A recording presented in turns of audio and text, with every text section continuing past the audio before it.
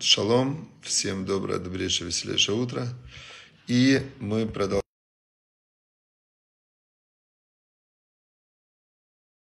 с вами. Так, всем привет. Все. Значит, сегодня мы находимся в понедельник, 10 Ниссана. Сегодня 10 Ниссана, 11 апреля. И 10 Ниссана, 11 апреля. Мы продолжаем, продолжаем изучать недельная глава Ахареймот после смерти и изучать книги, которые нам передают мировоззрение и способ служения – такое направление есть хаббат, да, хасидский, хасидский способ служения. Вот мы изучаем как раз хасидские разные книги. Хасид это тот, кто служит эмоционально Всевышнему, подключая эмоции, делая больше, чем требует буква закона. Это вот тот такой хасид, да. То есть мы разбираемся чуть-чуть как в букве закона, но мы чуть-чуть смотрим таким хасидским взглядом. Хорошо, значит, что нам в книге Айом-Йом 10-го Ниссана сообщает а, Любавичский Рэбе, он сообщает нам, что необходимо пропагандировать законы семей, чистоты семейной жизни. Помните, я вам вчера рассказывал историю, как э, была семья нерелигиозная, у них дочка, врачи сказали, что не будет ходить, и они написали письмо Рэбе, и, значит, Рэбе ответил, начните изучать и соблюдать законы семейной жизни, она пойдет. И они начали соблюдать, и действительно их дочка выздоровела и пошла. То есть здесь вот сегодня как раз об этом рассказывается, что нужно не просто их соблюдать, если кто-то, опять же, это касается евреев, которые обязаны соблюдать все заповеди Торы, и среди заповедей Торы есть законы семей, чистоты семейной жизни, регламентирующие взаимоотношения между мужем и женой. Это очень важные законы, так как от чистоты семейной жизни зависит, э, зависит э, семья, от семьи зависит все вообще, да, воспитание детей, там, как что будет в жизни человека, все это формируется в детстве, в семье, то говорит нам Рэбе, что не просто соблюдайте, а мы должны пропагандировать. И это настолько важно, он говорит, что это как спасение жизни. То есть это буквально спасение жизни, э, пропаганда закона семейной чистоты. Вот сейчас э, как раз я вчера об этом чуть коснулся. По статистике, каждый год в мире при родах умирает 200 тысяч детей из-за того, что их матери больны сифилисом. То есть мы сейчас, весь мир страдает, потому что в во время военных действий погибло 117 детей в, в Украине, и это страшно, это просто весь мир, в, ну вот вообще все газеты мира, все прям никогда не простим, как так можно мирное население убивать. И в то же самое время 200 тысяч детей умирает, потому что их мамы ведут беспорядочную половую жизнь, или папа, или мама, там, кто там их ведет. И у матерей, это официальная статистика, у матерей больных сифилисом умирают каждый год 200 тысяч детей при родах или сразу после родов. Цифра, чувствуете разница? 200 тысяч и 117. Теперь вот э, Рэбе говорил, мы должны пропагандировать чистоту семейной жизни. Чистота семейной жизни – это то, что только с женой – это факт. Вопрос еще, что даже с женой нужно очень соблюдать много разных э, заповедей, обеспечивающих чистоту этих отношений. Понимаете, вот насколько Тора – это Тора жизни, да, то есть насколько, казалось бы, да, что такое чистота семейной жизни? Это 200 тысяч спасенных детей в год. Вот и все. Теперь, значит, э, переходим мы ко второй книге. Ко вторая книга называется «Обретение неба на земле». И здесь нам говорится очень такая глубокая вещь. Да? Вот когда говорят, что психология там важная вещь. Психология невероятно важная вещь. И психология возникла где-то около ста лет назад. Первую книгу по психологии написал, э, звали его, по-моему, не помню, как его звали, Уильям Джеймс, по-моему, его звали. В Америке он написал книгу «Психология». И э, такая была толстенная книга, это, это была одна из первых книг в мире про психологию. 100, значит, 100, э, 100 лет назад всего это было. До этого вся психология, она была в, в религии, в Торе. Тора это как основа. Из Торы потом вышло и христианство, и мусульманство. И вот здесь нам дается такая интересная идея. Говорит нам тоже Любавич Рэбе, говорит так – Бывает, что самые разрушительные внутренние импульсы появляются у человека в молитвенном облачении. То есть э, из как бы, они, этот голос звучит как бы из духовной его части, да, но он разрушительный. То есть вообще вся психология, она об этих внутренних голосах. Потому что человек, который, например, параноик, это значит, что у него есть внутренний голос, который ему все время его пугает и говорит, что за ним следят. Или там э, невроз у человека, да, у него тоже одна его часть хочет одно, другая его часть хочет другое. У там э, разные психологические школы по-разному описывают этот внутренний конфликт. Но суть всей психологии одна, что человека внутри его головы, внутри его внутреннего диалога, внутри его личности происходит нарушение, раз, раз, э, э, как сказать, раскоординация его хочу и надо, правильно и могу. В общем, у него раскоординация происходит. Теперь нам говорит Тора, он говорит, самые разрушительные внутренние импульсы, они появляются в молитвенном облачении. Как это может быть? Э, он приводит пример. Когда следует ликовать, э, некто внутри тебя говорит, чему ты радуешься, тебе ли с твоими грехами веселиться. То есть Всевышний сделал для кого-то чудо, да, или там у него вот он проснулся, такой день вообще, он говорит, Моде Анили Фанейха, благодарен я перед тобой, Мелахайва Каям, царь живой сущий, Шейхизар Табиниш Матива Химла, что вернул ты в меня душу мою, раба ему насеха, велика моя вера в тебя, и он такой радостный вскакивает, а потом говорит, ну что ты такой радостный, что, ты что, вообще можешь радоваться, ты же грешник, ему внутренний голос говорит, и он бах, лег опять в кровать, укрылся одеялом и лежит, значит, в депрессии. То есть, э, казалось бы, этот внутренний голос, он, э, он, он как бы с хорошей стороны, он ему напоминает о его грехах, чего ж ты радуешься-то, да? А по факту он его уложил в кровать, и он не пошел на утреннюю молитву. Когда же наступает время для покаяния, да, наступает время, э, нужно алякзор быть шува, то есть есть специальное время, то есть у нас есть специально два новых года. Есть Новый год, который сейчас будет, Нисан, да, это Песах, это духовный прорыв – и в этом духовном прорыве нужно забыть обо всех своих там старых э, э, тормозах, которые тебя держат, и э, перейти на следующий духовный уровень. В... И есть Роша Шана. В Роша Шана наоборот, ты должен повернуться назад, и ты должен лягзор быть шува, раскаяться во всех своих прегрешениях, и тогда в Йом-Кипур ты очищаешься. Это две разных работы. Он говорит, но когда наступает время для той духовной работы, когда надо, наоборот, раскаяться, когда надо значит, э, ну, чуть-чуть грузануться. Тебе говорит внутренний голос, чем ты лучше других? А что ты должен сокрушаться? Посмотри вокруг. Ты относительно там э, парада гордости, так ты цадик вообще, праведник, посмотри. Ты же не на параде гордости. Ну и что, что ты там э, нарушаешь все остальное? Но ты же не, не гей уже, слава Богу, радуйся. Значит, и в момент, когда он должен был бы наоборот раскаяться в своих грехах, Ему этот внутренний голос говорит, не раскаивайся, ты красавчик, у тебя все хорошо. Третий вариант, третий пример. Когда кто-то нуждается в вашей помощи, а вы, значит, говорите, ну, что, Бог же не просто так э, делает другим неприятности. У Всевышнего с ним какой-то учебный процесс идет. Что я буду вмешиваться?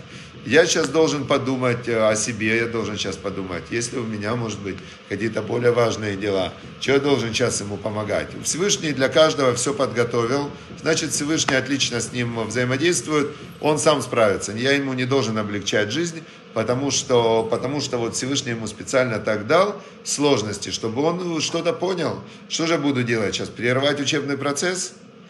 А, это второй голос говорит. Наступает время размышлений, да, надо наоборот, в, вот в тот момент, когда надо было помогать, ты начинаешь размышлять.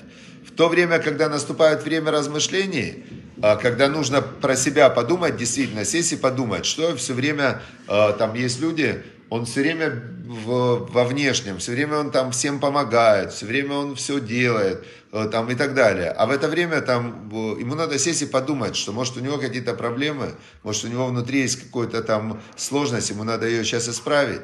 И он вместо того, чтобы этим заниматься, ему внутренний голос говорит, э, иди спасай мир. Все, давай, ты спасаешь мир, про себя не думай. Еще он приводит пример. Когда вы поняли что-то глубокое, помолились с настоящим чувством или без огласки, совершили добрый поступок, и тут внутренний голос вам шепчет, ты молодец, вот это ты красавчик.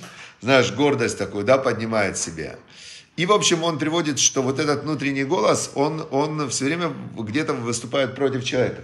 А можно мне зарядное вот устроить? Итак, сможешь мне принести зарядное вот там, где это кофе? А, Ривка сейчас принесет. Хорошо. Значит, э, внутренний голос это, да, говорит Рэбе, вам одного только не скажет никогда. Только этому он будет против, противиться всеми силами. Никогда он не посоветует, освободись от меня, разбей эти цепи, переменись. То есть, что внутренний голос не посоветует никогда, это перестать слушать внутренний голос. Понятное дело. Что же это за внутренний голос такой, который скажет... Ой. Что это за внутренний голос, который скажет, не слушай меня же, да? Понятно.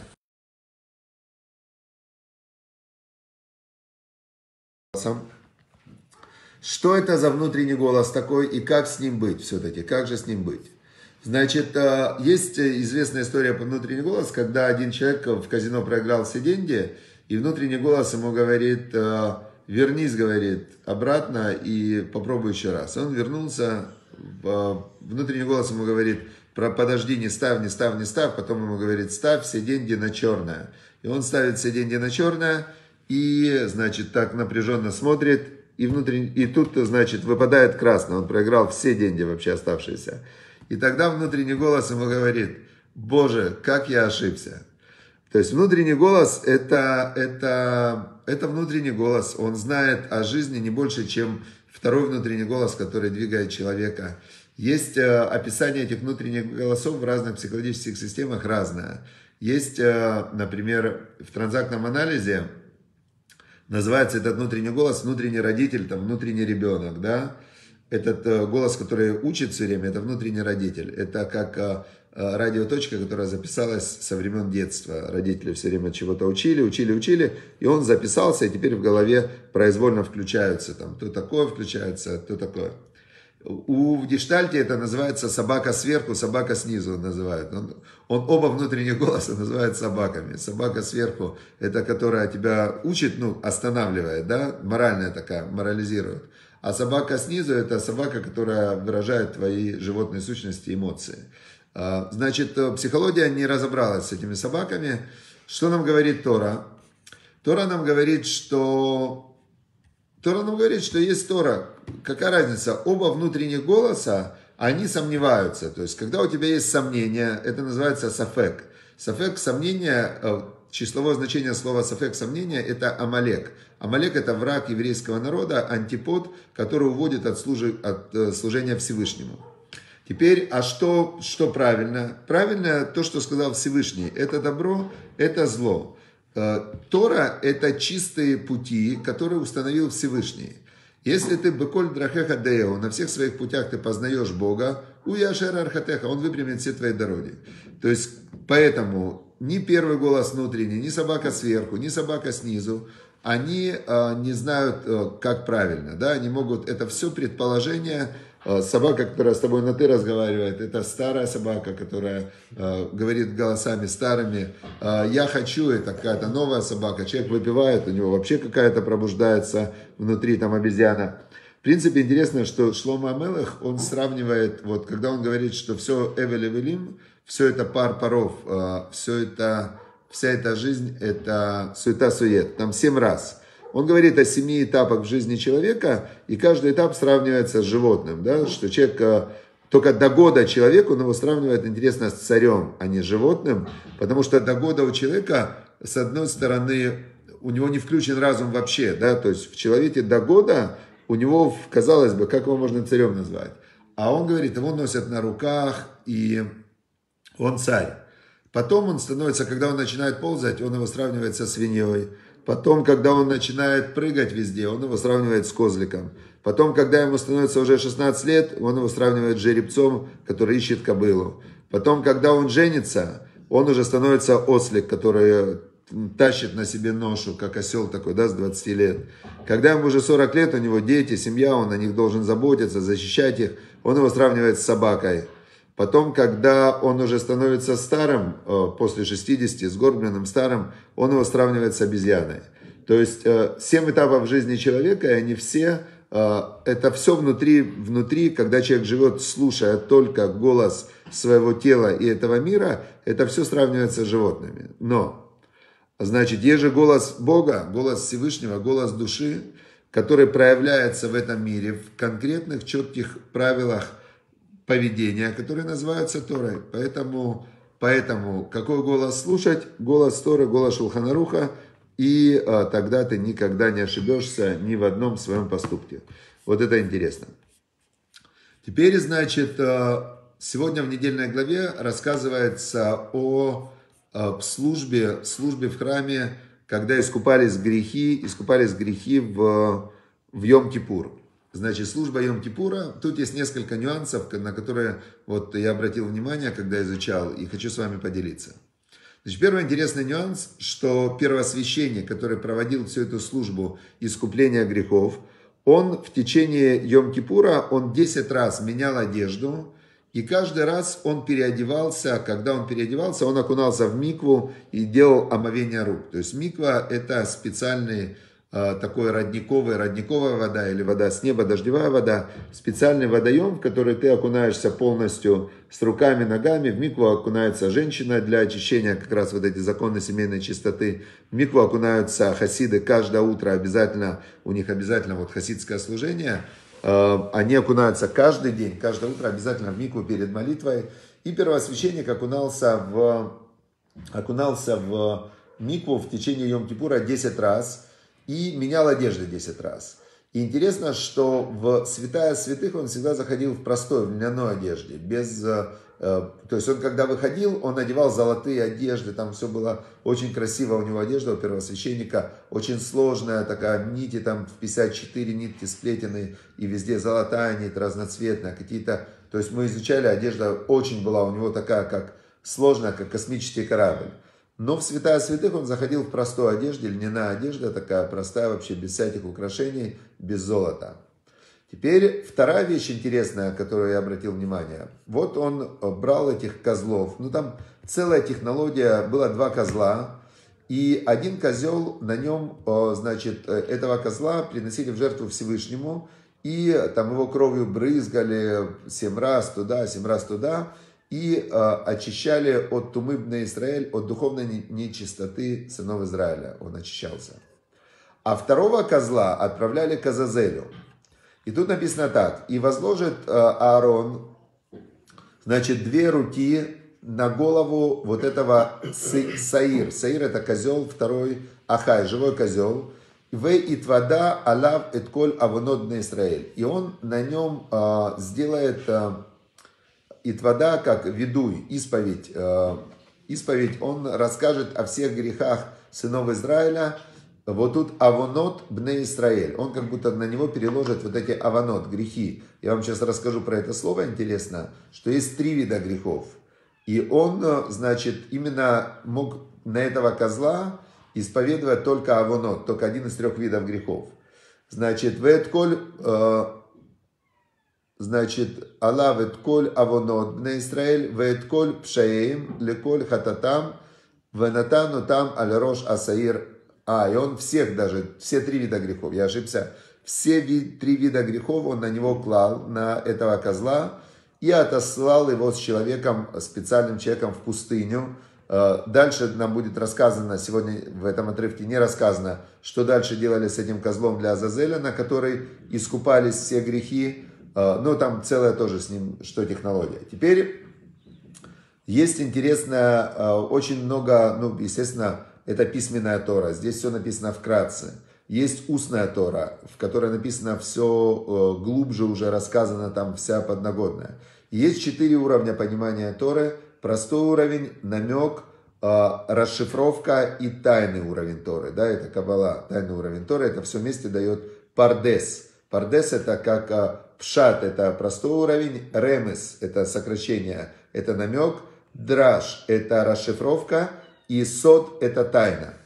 Вот четыре уровня. И кто знает все четыре уровня, попадает в пардес, попадает сразу в рай, потому что ему все открыто, у него полная ясность, у него нет никаких сомнений, у него полная ясность вообще, он как он реальность видит насквозь. Тот, кто знает Тору на уровне четырех уровней понимания, пардес, у него полная ясность жизни во всем. Он всегда веселый, у него всегда такое состояние внутри, просто рай. Я видел несколько таких людей, праведников, и большего счастья, большего, большего такого духовного света я никогда не видел. То есть ты видишь такого человека, вот он все время под кайфом, да, как бы, да, но только под таким кайфом, что от него вокруг как люминесцентная лампа, и он при этом абсолютно э, на любой вопрос, у него сразу ответ. Он знает в любой ситуации, что сделать, как поступить. Это уникально. Вот, например, можно... Сейчас, даже мне эту книжку.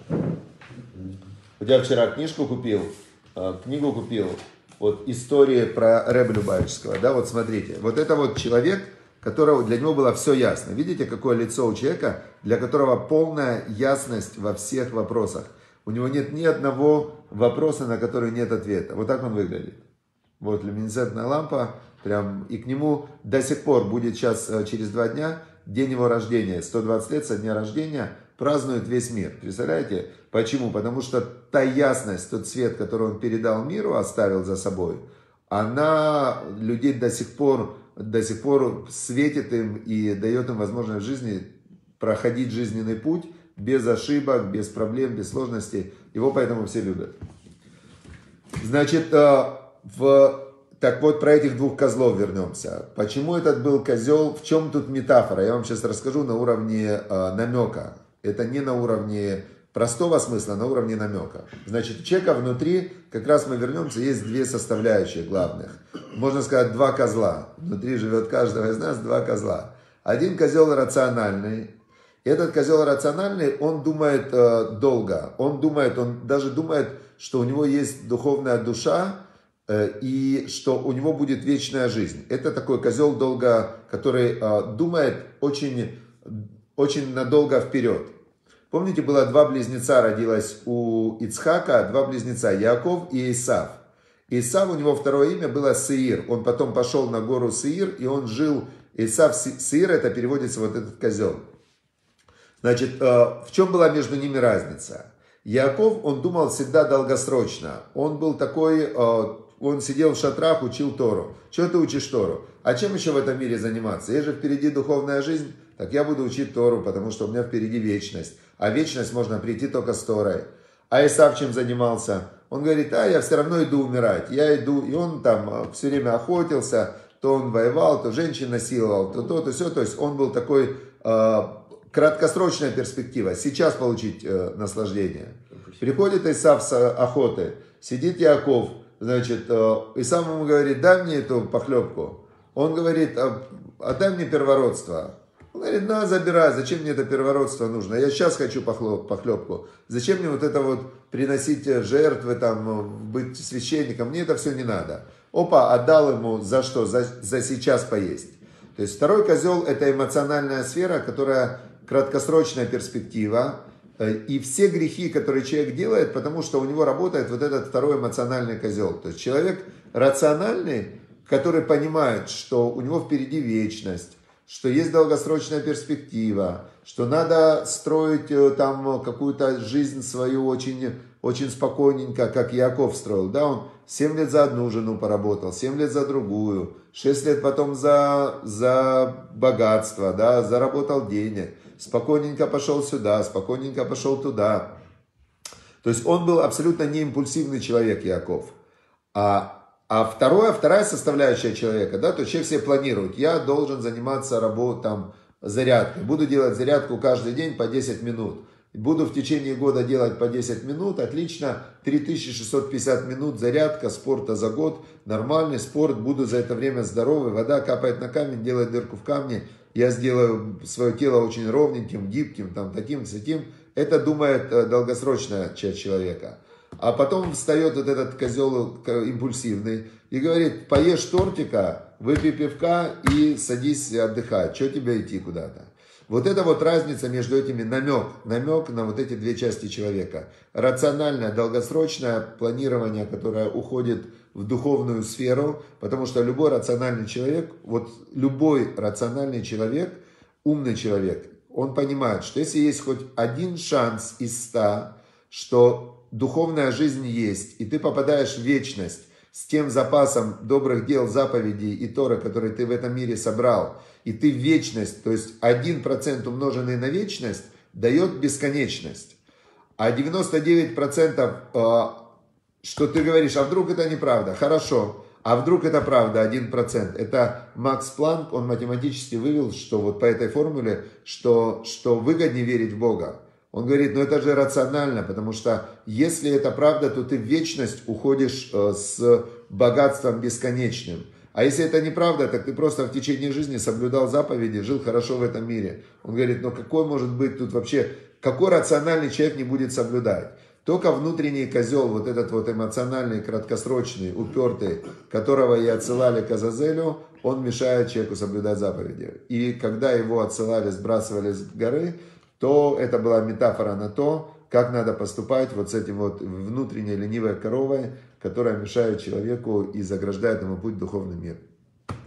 Все. Значит, э, вот то, что такое было интересно в сегодняшнем отрывке. Дальше завтра мы будем продолжать изучать Тору и а, подчинять свою эмоциональную, ленивую, вот эту вот внутреннюю часть, которая называется Ецер-Ара, вот этот внутренний голос, он называется Ецер-Ара. Э, злое начало, да, животное начало, в нефиш беймит, еще это называется животная душа.